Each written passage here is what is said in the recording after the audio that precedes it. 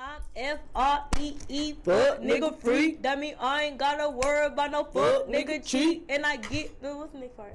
And I'm S I N G L E get In it, in it, in the it, window with uh, my in Richard. Uh, in it, in it. Let's go! Another episode.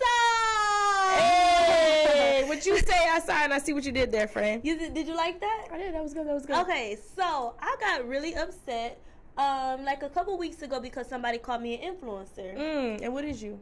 I'm a mogul. Mm, what is you? I'm a mogul. Hold on. Huh?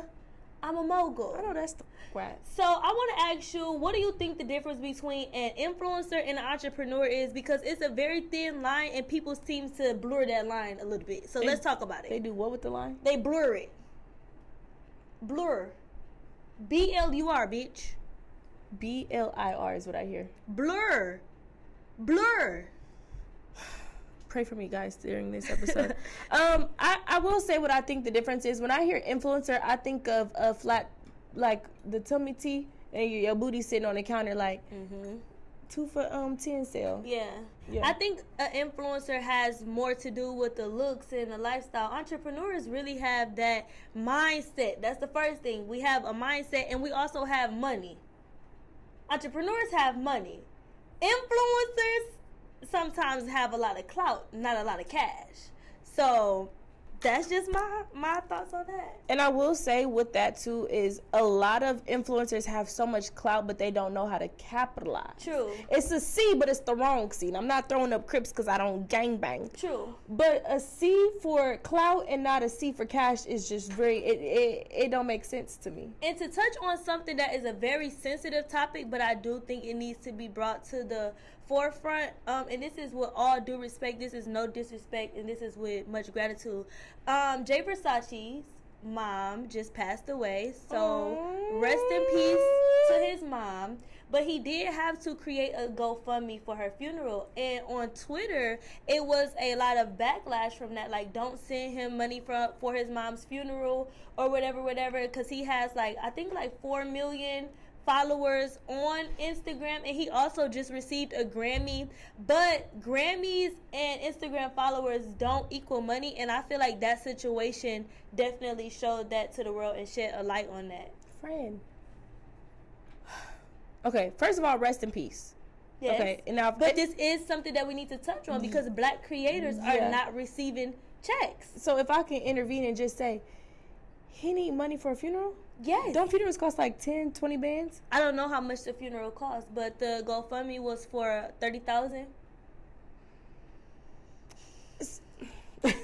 Deep breath, because and I'm not laughing at that. I'm laughing. I'm not laughing. I'm not. Yeah, chuckle. yeah, yeah, yeah, yeah. Okay. Shit. Okay, so let me just say this: when you have following and you're known Mm-hmm. And for a being, Grammy. yeah, and you're known for being funny. A lot of times you do stuff because it's a good look and not because it, you could take it to the bank. True. You can't take a good look to the bank. You know what I'm saying? And that is happening with a lot of these comedians on Instagram right now because I can name five off the top of my head that have been around making us laugh for years, Years. but have not been taking their ass to the bank. to the bank. And and I don't want to laugh if I can't cash out. You know what I'm yeah, saying? I'm not doing it for the clout. I'm doing it for the cash. And we'll talk about that later on in the episode too. We'll talk about that later on in the episode. So do you want to take us to church chat? Um, yeah, so let's talk about it, you guys. it's summertime and service providers are stuck in the, you know how I feel about salon suites. they stuck in their salon suites. No tea, no shade, no harm, no foul.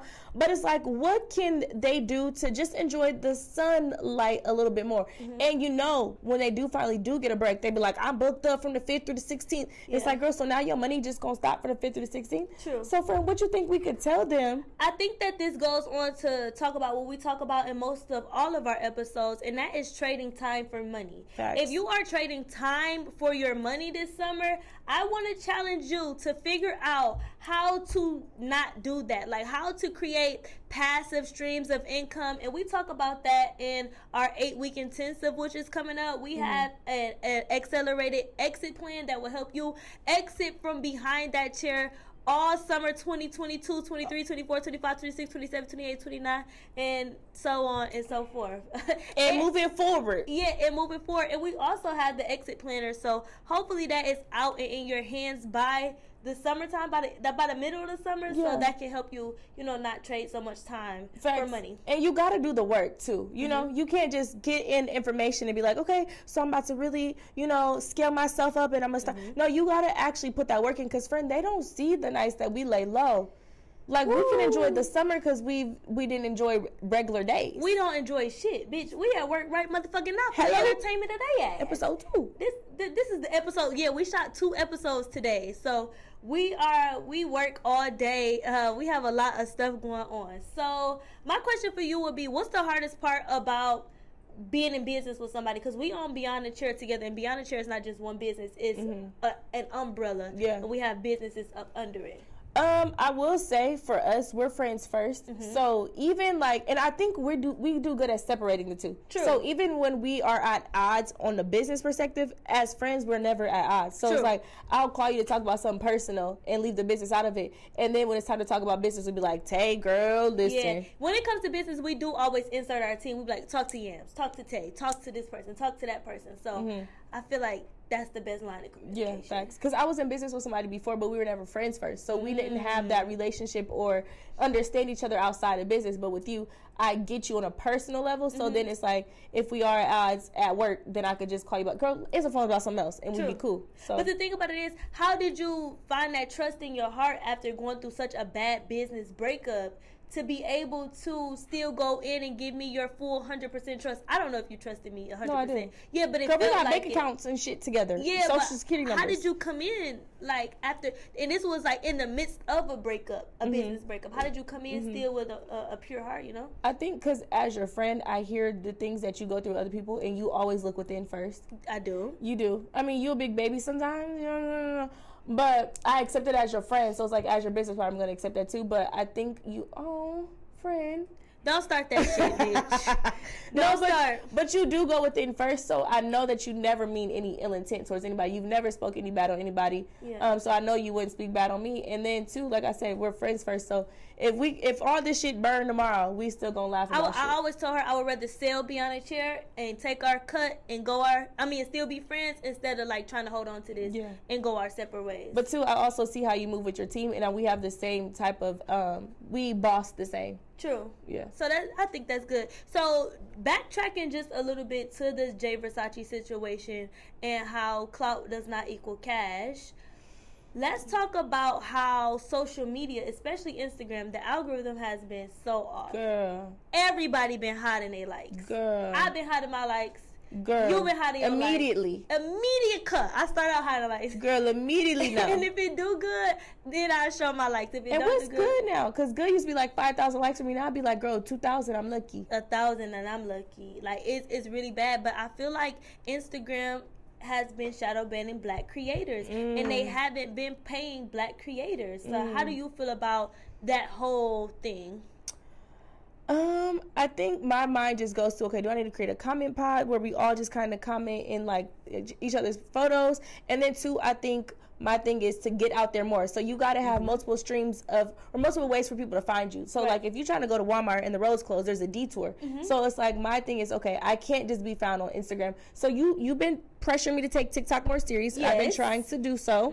And then even like YouTube. So just finding multiple streams and multiple ways for people to find me. So if Instagram is playing on my name, then you can still find me on YouTube and you know other platforms. I think that's like we got to lead with the solution. True, and not and not focus so much on the problem. Mm-hmm. Because you know me, I'm like Trishonna, are you posting? Post, post, post. You be Yeah. like, that's not good for my algorithm, man. Fuck this algorithm. Girl, but you know you be posting flyers and my audience don't like f- uh, flyers. But I think you do good. How you do your carousels, I Yeah. really like admire how you do your carousels. Thank you. I'd be trying. I'd be like, oh, let me be. and social media is a job. I'd be like, let me be strategic. please and, and i'm a very strategic person Mm-hmm. i think that's like one of our strong suits with beyond a chair is that i am strategic and you're strategic in, in numbers in, in that way but when it comes to other things i'm strategic in that way Mm-hmm. as well Oh, I got a question for you. okay So I seen in a um, Instagram post recently, someone asked, I want to say Jack Harlow, okay if he would have sex with one of his family members for money or something. I don't want to get mixed up. what the fuck is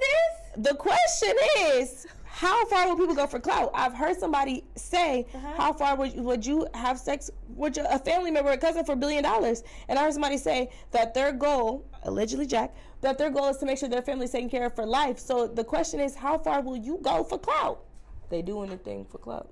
They do anything for clout. She don't. Is, yeah, that's that. That was the word. They do anything for clout because what I, I wouldn't fuck a family member knowingly that is my family. What if it's like twice removed, uh, brother, cousin, sister, nephew? it could be once removed and I'm fucking you is? for the billion. Friend, we just said we wasn't doing anything for clout. that ain't clout. That's cash. this is it's a difference between clout and cash, guys. Okay, what I will say is it was just a situation that happened. And I was very mad because it was a clip that went viral, but it went viral based upon the headlines that somebody wrote about us. A mm-hmm. couple of people wrote about us. So it kind of geared the audience in a negative connotation. Mm-hmm. And when that was happening, I said, Trish, how can we capitalize off of this situation? I will want the cash. I don't want the clout. Granted, he got about like 30,000 extra followers Off of us. off of us in the situation, but mm-hmm. we got 60,000 extra dollars. Hello. And what did he, what did he call us? He called us influencers.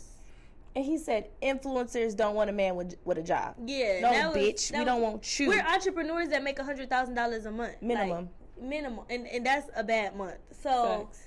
yeah. Um. Next thing, let's let's go to top topics after that because baby, I'm gonna just leave it right there. I don't even want to play with nobody no more.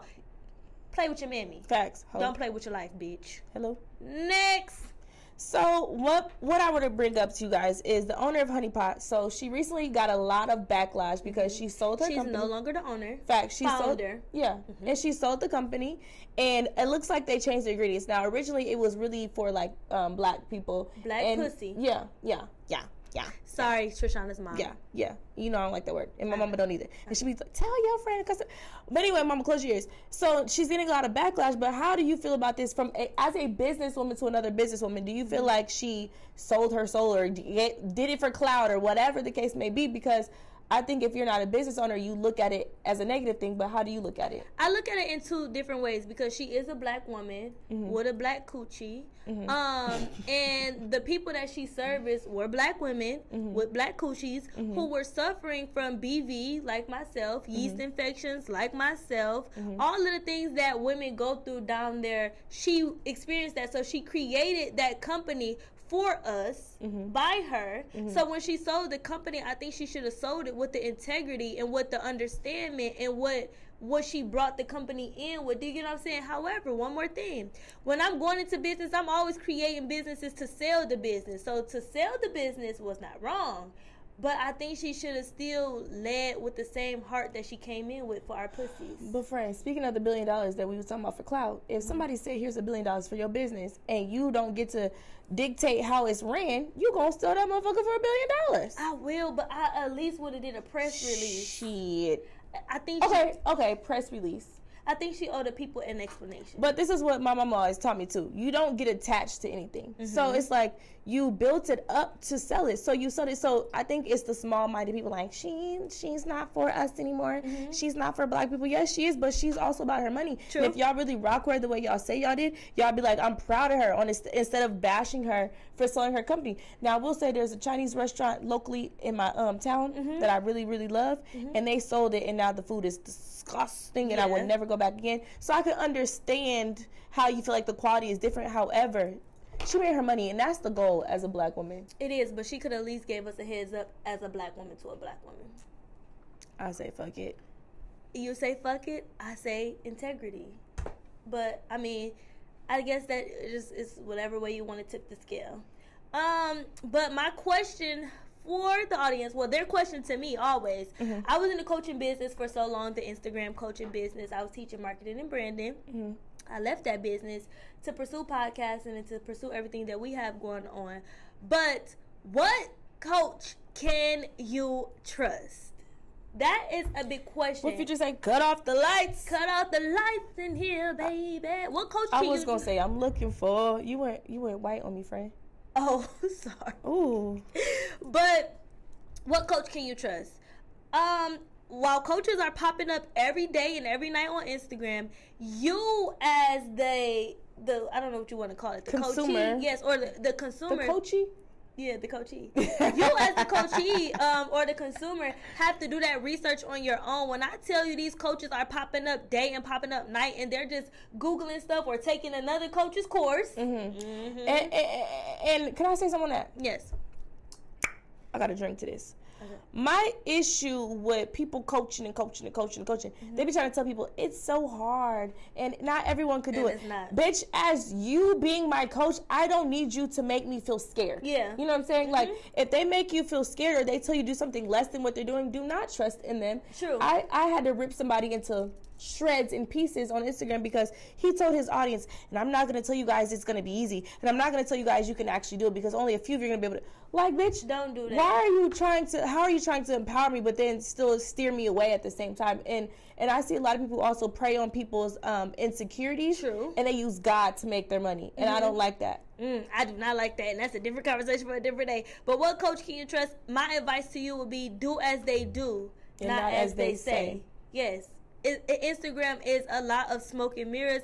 I know a lot of people who, who are selling fluff. I know a lot of people who are selling motivation mm-hmm. on Instagram. People will charge you for motivation, and I don't even like motivation. I don't want motivation. I want money. Facts. Because I'm not gonna be motivated all the time. And there's some days I know I don't want to do it. Mm-hmm. I just need discipline, and I need the right steps to take. Like, True. don't try to get me goosebumps and crying so you can take my money. True, and, and then and that's what these coaches be doing. And they play on the vulnerability of people who are not financially stable. Especially you a single mama. Yeah. And you and and, and, and mm-hmm. what would Jesus do? And what would God do? And if you only had seven dollars and you can take seven dollars and no. turn it into seventy dollars. This is another scheme that they've been doing. They've been getting y'all funding to fund their class with the money that you don't even have. And with that, let's move on. Then they gotta pay all that shit back. Huh? Then they still gotta pay it back. And with that being said, baby, let's move on. I'm gonna take a shot to the people who was smart. Uh, okay. um, tequila truths, baby. Speaking, wait before we go to tequila truths. All right. Go back to top topics. Okay.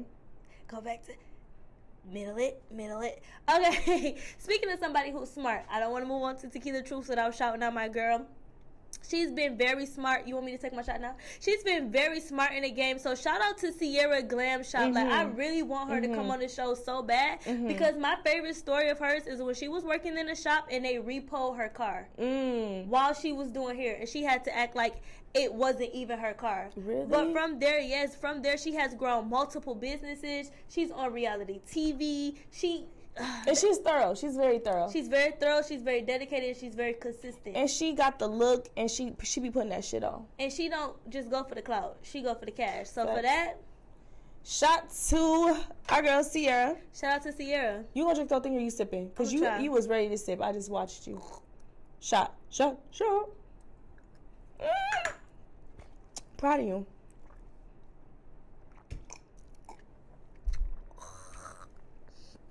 We the only people. I hope my trainer don't watch this. we the only people I know who chase our alcohol with alcohol. I hope my trainer don't watch this episode. Anyways, uh, today we want to play a game for Tequila Truths, and if we get it wrong, we have to take a shot. I'm gonna take a sip of Belaire, cause baby. Um, but we're going to play. Who styled that wig? So today we have Arrogant Tay, Alonzo Arnold, Tokyo, Tokyo, Styles, and Jonathan. We love Jonathan. That's your, yeah, I'm about to say that's your best. That's my boy. So we have to guess. Okay, so who's first? I mean, what what style is first? Mm. I say Arrogant Tay. Who styled that? I feel like Alonzo did that. All right, I got Tay. She got. Alonzo. Why you? Why you got? Why you got Eric? Arrogant Tay. That's mm-hmm. his color. Okay. Who's right? It's arrogant. It was Alonzo. Alonzo did. You got to sip every time I'm right. You got to sip. You don't got to drink something right but you got to sip. It was you, Alonzo. You know I feel like Alonzo they did that? They tried to trick me with the color. No, let me tell you why I think Alonzo did that. Because I be thinking Alonzo do them have, he love a good ponytail. But that was Tay's color, though. You get what I'm saying? Take a shot, friend. A little sip. All right, bring in the next one. Get her drunk. Jonathan mm. did that. I was about to say Jonathan. This was easy. This was an easy one because that's his girl. Mm-hmm. And you want to know what this tells me? Hmm customers thrive in consistency. Mm. That goes with branding because if you could see her and know that Jonathan did her hair, his branding on point. Facts, facts. His and that color was beautiful, Jonathan. That was. All right, we sober on this one. Tokyo did that one. Tokyo did that. You know what about Tokyo though? Tokyo is from my hometown, Omaha, Mm-hmm. Nebraska. So Omaha, big Nebraska, stand up. Shout out to Tokyo. Love Tokyo. And you know what? I've actually watched Tokyo from just an adolescent. What does that mean? A kid? Okay, I didn't ever. Know I just be want to say that. I watched Tokyo as an adolescent go from a dancer because he word. he used to be like a dancer, like he had a dance team, Mm-hmm. and then he moved out of town, and then he just started building his business, and now he's like a bomb celebrity stylist. So Mm-hmm. it's just I love bumping into him, uh, and just amazing. Uh, amazing. Amazing. And you want to know what else is amazing? Our BIP all access pass into our freaking lives. Do you hear me? What's BIP, friend? A BIP is a backstage inclusive pass. Um, and we mm-hmm. definitely want to invite you all to be a part of our backstage inclusive pass. So if you want to be a BIP, what comes with it, friend? You get to know first about our guests that are coming. You get to talk to our guests first. You get to ask them exclusive questions. You get exclusive tips. You get to go live. So when we on set getting ready mm-hmm. and we be doing outfit changes and stuff, you get to be here with us. Mm-hmm. And you get to get in our close friends. My favorite part, though, is them being able to ask questions to our special guests before they even come in. Because sometimes we don't know what y'all want to know from the people. So y'all will know exactly who's coming in. Y'all get to ask some questions. It's only six and the link is down below in the YouTube bio. You can only get it here. It's not in our um, social media bios or anything like that. And we are still on tour. And get it now too before the price go up. Yeah, the price will go up. Facts. Anyways, guys, uh, we're going to end this episode right here. But before we end, we do want to just insert a clip of us being on tour. We have 10 more cities that we want to go to this year. hmm And what do you have to say to the people? I just want to say, come learn, come get some gaming, come shake hands and just network. Show us the clip, guys. See y'all later. Ay,